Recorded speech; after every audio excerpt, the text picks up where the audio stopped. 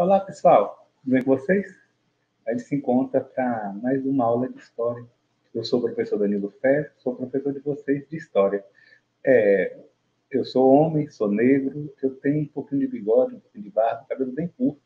Eu estou sentado, vestindo uma camisa preta, jaleco branco, num ambiente que tem algumas logotipos da Prefeitura de Feira e da Secretaria de Educação, e tem atrás de mim a frase Caminhos da Educação.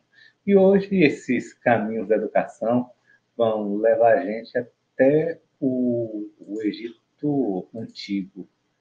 O Egito Antigo, que é uma região que a gente tem muita familiaridade, né? Todo mundo já assistiu o filme A Múmia, todo mundo já, já tem alguma vontade de conhecer o Egito Antigo. E algum conhecimento, né? Alguma coisa que a gente já saiba. O que a gente já sabe? Quando a gente fala em Egito Antigo, a gente pensa nos faraós, né? Os faraós egípcios, sempre essa memória vem. A gente lembra também, claro, das múmias. Eu coloquei essa múmia bem fofinha para vocês lembrarem, ainda que no filme as múmias sejam representadas de um modo meio bruto, né? meio violento. Essa é fofinha, acho que essa não faz mal a ninguém, não. E aquele roteiro turístico que todo mundo quer fazer, né? De conhecer as pirâmides do Egito. O Egito é tudo isso mesmo. O Egito é a civilização dos faraós, múmias, pirâmides, tudo isso que a gente já sabe. E hoje, se eu tiver sucesso, vocês vão conhecer um pouquinho mais do Egito, para além desses detalhes que a gente já sabe. Aprofundar um pouquinho do conhecimento, entrar na, em alguns dos segredos dessa grande civilização africana. Vamos lá. Opa, estou. Tá aí as pirâmides de novo. E as, o Egito Antigo. A civilização, é, como, como eu falei, o Egito ele existiu, existe ainda né, como país, no norte da África. E nessa fase antiga do, do, do Egito, ela vai durar entre 2686 até 1570 a.C mais de mil anos né, de existência desse reino. É, e o principal elemento da existência do, do, do, do Egito é esse aqui, o rio Nilo. Esse é o elemento geográfico que vai determinar todo o, o, esplendor dessa civilização. E a explicação está aí, né? Se fala do Egito como uma dádiva do Nilo. E isso faz muito sentido nessa imagem, né? vocês percebem que no entorno do Rio Nilo, o, no entorno do Rio Nilo, à medida que ele vai avançando, tem toda uma região de vegetação e fora dela deserto. Como o Rio Nilo ele consegue dar vida ao seu entorno, mesmo nessa região desértica, e permitir a existência de uma civilização. Por isso a gente fala que o Egito é uma dádiva do Nilo. Até quando chega nesse delta do rio Nilo, como você percebe que ele é bem irrigado, muita vegetação, e é nessa nesse entorno do rio Nilo que a civilização egípcia ela vai florescer. Essa imagem aqui é a mesma imagem da outra, só que aqui mais animada, né? Vocês percebem como as pirâmides, como os templos, como todo o apogeu, o esplendor, como tudo dessa grande civilização vai acontecer circundando o Rio Nilo. Por isso, gravem, a gente chama de que o Egito é a dádiva do Nilo. É esse elemento da geografia que permite o esplendor dessa civilização. Não fosse o, o Rio Nilo, talvez só tivesse seca nessa região e a gente não teria todas essas obras que os egípcios deixaram. E as fases do Antigo Egito? A gente divide os historiadores em algumas etapas. Né? O Antigo Império, que é quando eles fizeram essas pirâmides, o período intermediário, que é quando o Egito teve um pouco de decadência, o Médio Império, que é esse período quando o, período, o Egito volta ao esplendor, um período intermediário, até você ter um novo Império Egípcio, que vai até 1085, que é quando o Egito ele sofre uma série de invasões e acaba deixando de existir enquanto uma, uma civilização independente. E se na, a, na, a geografia apresenta o Rio Nilo como o grande elemento da civilização egípcia, se no que diz respeito à geografia, o Egito ele é dependente do Rio Nilo, enquanto cultura, o centro da civilização egípcia é a religião.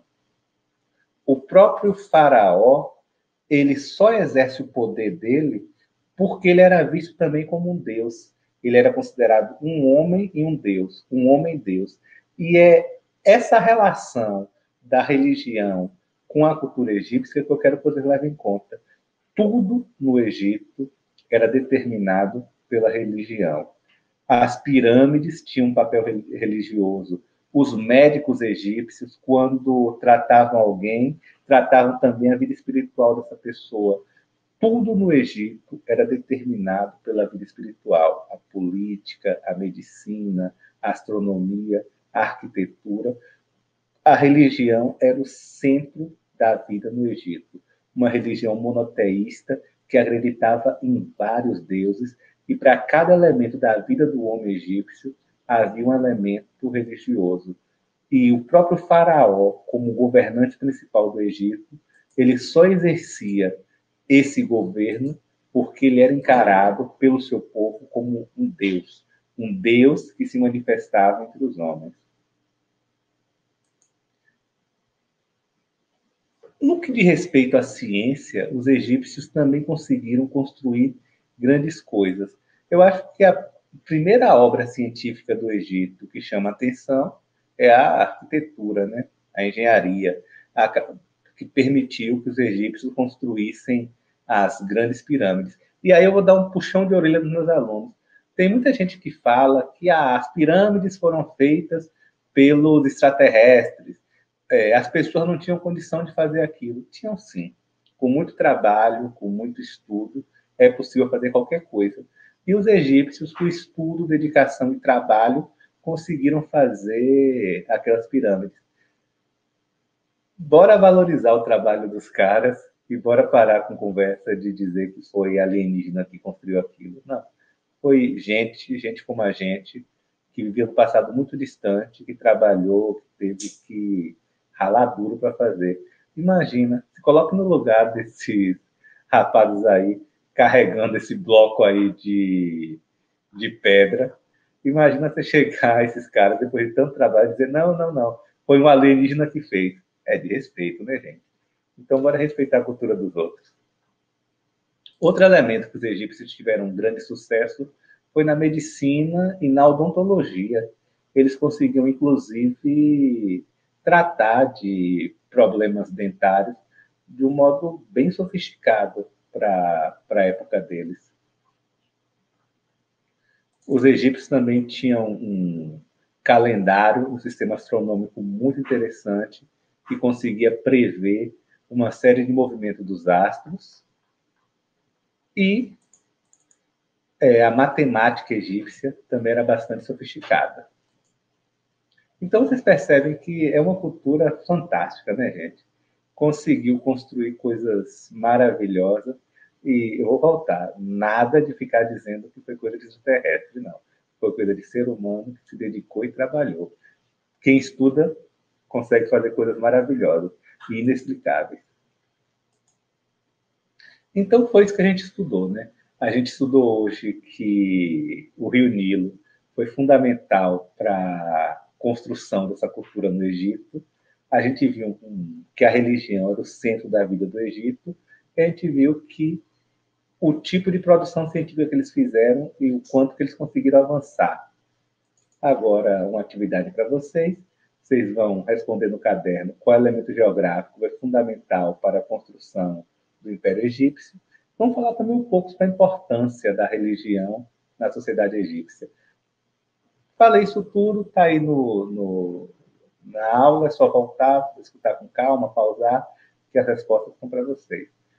O, tem alguns, algumas imagens que eu usei Estão aqui os créditos. É só clicar, quem quiser chegar até elas. E é isso, meu povo. É... Essa é a nossa aula de hoje. Eu saúdo vocês com meu abraço, ansioso pela semana que vem.